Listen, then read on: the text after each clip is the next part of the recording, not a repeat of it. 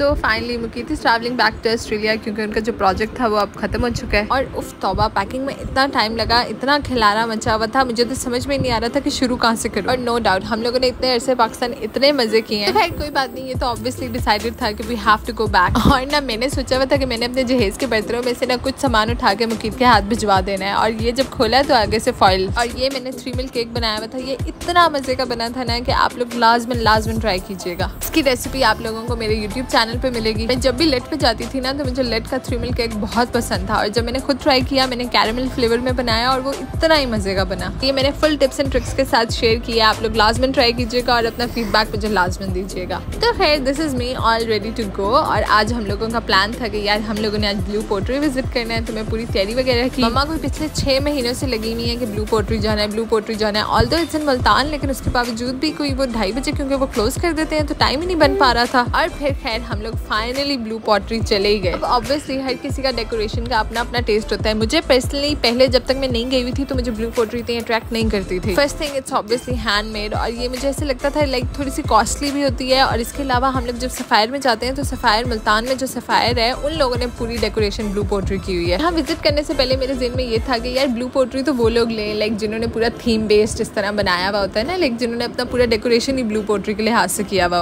और जब हम लोग यहाँ पे गए तो मैं लेने कुछ और गई थी, मेरी नज़र एक बाउल पे पड़ी। मैंने कहा मुकीत मैंने तो ये लेके ही घर जाना है। और मुकीत सबको हंस रहे हुए आज मेरी बेगम ने आने का टेक्स लिया है। और तो जब मैंने इसकी हिस्ट्री वगैरह पढ़ी तो ब्लू पोट्री बेसिकली बहुत पुराने मुल्तान में बड़े अरसे से हो रहा है और मुल्तान फ़ेमस भी इसी वजह से है। अब हमारा वहाँ पे दिल था कि यार हम इनका कारखाना भी विज़िट करें क्योंकि ऑब्वियसली वर्कशॉप विज़िट करने का अपना मज़ा होता है। आप लाइव देखो कैसे चीज़ें बन रही हैं। लेकिन वो उस टाइम पे क्लोज था क्योंकि और कोई वर्कर उस टाइम काम नहीं कर रहे थे तो मैंने कहा, फिर ऐसे फ़ायदा ही नहीं है जाने का। हमारे लिए इनके कुछ डिज़ाइन हैं जो मैंने आप लोगों को विज़िट करवा दिए ये थोड़े से हटके भी हैं। फिर हम लोगों ने वापसी पे खाए पापड़ी छोले, क्योंकि ऑब्वियसली अभी मैंने जाके खाना बनाना था तो उसमें टाइम था। आज मैं खाने में बेसिकली बना रही थी स्टीम रोस्ट मामा पहले बहुत अच्छा बनाती होती हैं तो आज मैंने सोचा कि चलो यार, मैं खुद ट्राई करती हूँ। सबसे पहले तो मैंने चिकन को अच्छी तरह धो के उसमें कट्स लगा लिए और पानी में विनेगर मिला के उसको दो तीन घंटे के लिए छोड़ दिया। अब मैं उसका मसाला रेडी करूँगी। यहाँ पे मैंने दही लिया है, दही में अदरक, लहसन का पेस्ट और बाकी सारे स्पाइसेस ऐड कर दिए। स्पाइसेस में वही नॉर्मल नमक, लाल मिर्च, कुटी मिर्च, हरा धनिया। सॉरी आई मीन धनिया जीरा पाउडर और गरम मसाला। इसके अलावा मेरे पास यहाँ पे पड़ा हुआ था तिक्का मसाला और तंदूरी मसाला तो वो भी मैंने दोनों यूज़ किए अब आप स्पाइसेस तो ऑब्वियसली अपने टेस्ट के अकॉर्डिंग एडजस्ट कर सकते हैं। हमें जरा ज़्यादा स्पाइसी पसंद है तो मैंने उसको सही स्पाइसी बनाया बस फिर हमने चिकन को मसाला लगा के उसको एक दो घंटे के लिए रखते हैं दैट्स इट अब यहाँ पे जो है ना मैंने उसको चम्मच से नहीं ऑब्वियसली हाथ से ही मैरिनेट किया था। अब इसको बनाने का तरीका मैंने अपनी सासू माँ से सीखा है। सिंपल सा है बस अपने ऐसे थोड़ा सा ऑयल डालना है उसके अंदर सारे पीसेस को रख देना है और उसको अच्छे से ढक के रखते हैं। मतलब ऊपर से ढक्कन देकर उसको कवर कर दें और वो खुद ही पकता रहेगा। तो ये साथ साथ मुस्तफ़ा साहब आपको सही बैकग्राउंड म्यूज़िक दे रहे हैं। अच्छा मैंने सारे पीसेस अलाइन करके जो मसाला बचा हुआ था, वो भी सारा ऊपर डाल के ढक दिया। और जितनी देर में वो पक रहे थे, मैंने कहा, चलो, पहले मैं अपने बच्चे का खाना बना लूँ। तो मैंने सागुदाना बनाया, फिर उसको ग्राइंड किया ताकि वो खा ले, वरना वो बॉल्स बाहर निकाल देता है। चिकन बहुत स्पाइसी था तो मैंने चावल बिल्कुल सिंपल से आलू वाले चावल बनाए। वो ज़रा ज़्यादा शौक से खाए जाते हैं हमारे घर में। साथ मैंने कोयला गर्म कर लिया, धनिया पुदीना वगैरह काट के रख लिया और मैंने जब चिकन रेडी हो गया तो उसको कोयले का एंड में दम दे दिया। हमारे घर में पीस के साथ सिर्फ़ केचप और मायो वाली सॉस खाई जाती है शौक से। और मैं आज ये ब्लू पोट्री वाली डिश लेकर आई थी और मैंने आते सारे इसका अफ्ताह भी कर दिया। I am that kind of person के मुझे नए बर्तन मेहमानों के लिए नहीं संभालने होते। मुझे ये होता है, यार, फटाफट खोलें, लगाएँ, इस्तेमाल करें। और बस, फिर मैंने इसको अच्छे से डेकोरेट किया। अच्छे से नहीं मतलब जितना मुझे आता है उतना। सारा कुछ मंगवा लिया और एंड इनको मुझे याद आया कि, यार, मैंने तो खीरे ही नहीं मंगवाए, उससे तो मैंने डेकोरेशन करनी थी। फिर खैर, मैंने सलाद के पत्तों से गुजारा किया और ये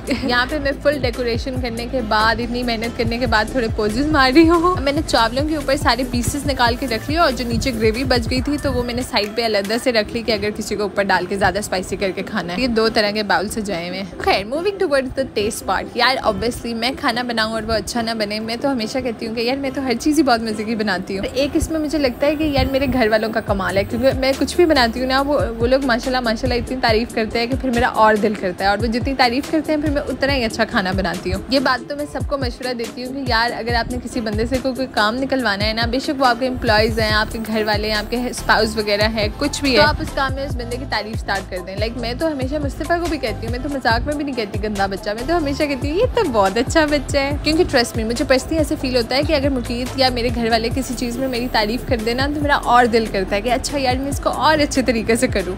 और बस फिर पैकिंग होने के बाद हमें कुछ चीज़ें याद आती हैं। वो लेने हम लोग निकले तो मैंने कहा, जी, मैंने तो लोटस केक खाना है। ये केक मैं इतने अरसे से देख रही थी ना तो मैंने कहा, यार, अब मैं ये चीज़ के खा के अच्छा और मज़े की बात मतलब कि इतना हैवी खाना मैं घर से खा के आई हुई थी और मैंने लोटस चीज़ केक ले लिया और मेरे, और ये खुद बहुत हैवी होता है ना तो मेरे से पूरा खाया ही नहीं जा रहा था। अब मैंने कहा, यार, साढ़े तीन सौ रुपये मैंने एक पीस पे लगाए हैं, खाऊँगी तो सही। और ऐसे होता है ना कि लाइक आप के मार जाओ, आपने कुछ भी नहीं लेना, तब भी आपको हर चीज़ देख के लग रहा होता है कि, यार, ये भी चाहिए, ये भी चाहिए, ये भी लेना है। और मैं मेकअप वाले सेक्शन में घुसूँ और मैं बगैर कुछ लेके बाहर निकलूँ ऐसे हो ही नहीं सकता। और एंड पे जब बिल बनता है ना तो बंदा सोचता है कि यार थोड़ा हाथ हौला रखें अब।